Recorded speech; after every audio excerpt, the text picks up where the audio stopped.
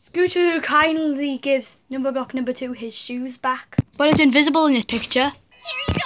Aw, thank you, Scootaloo. You're a good.